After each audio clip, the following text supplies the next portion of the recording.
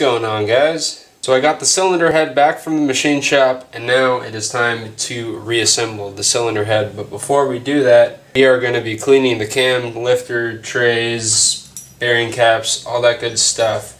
So it's been a couple months that these have been sitting around and they've collected dust and dirt, whatever, they've just been sitting around got dust on them. So before we put the cams back on, we're going to clean the dust off of everything, make sure there's no excess oil and all that good stuff. So basically, you won't be getting little bits of dirt and dust or like tiny rocks in there, whatever gets in there.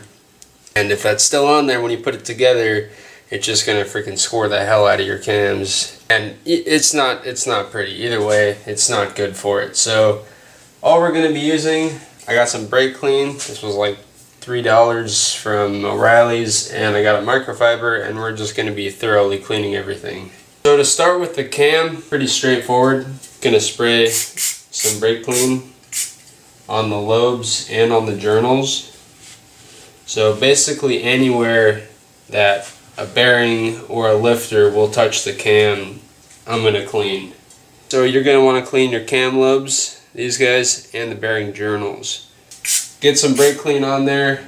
Wipe them down real good. Make sure that there's nothing that can get in the way or interfere. We are going to be using assembly lube, at least I'm going to be using assembly lube. I recommend that you use assembly lube when installing these, so we just want to make sure that they have a very clean, smooth surface with nothing on it that can get in the way and cause some damage. So another thing with the intake camshaft, um, you'll see that little hole on that bearing journal there. So that's actually an oil channel that runs from that hole into the center of the cam and then it pops out on the intake side there. So sometimes old oil will collect in there and sometimes also sort of get clogged. So what you can do is you can take one of these guys, of course this would have an air line attached to it to blow compressed air.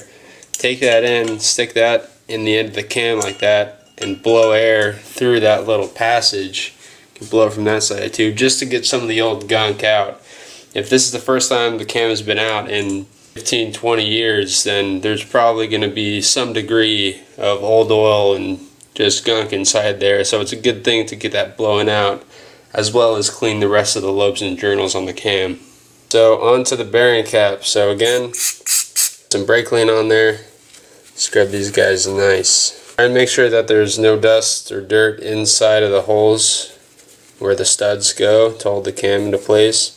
You really just don't want any dirt on these because it's just bad. It'll get in there and just wreck. As for the lifters, you can just pop them out, spray a little brake clean on them, on the tops. Get it all nice and shiny. Looking good so far. Another thing to clean is the inside hole in the tray. These lifters sort of just sit there and rotate inside of the uh, inside of the tray. So it's a good idea to get the tray nice and clean. You can also clean the face of this to get this to sit even more flush. Get in there, and get them all clean, make sure there's nothing in there. Uh, even if there's only like a period of like four or five days when you pull the cam trays and lifters out.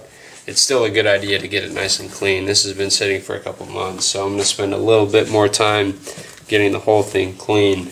I'm not going to flip over the trays and clean the inner bearing journals just yet. I don't want all the lifters to fall out. I will be cleaning those when I go to install the camshafts. So, alright, that's it.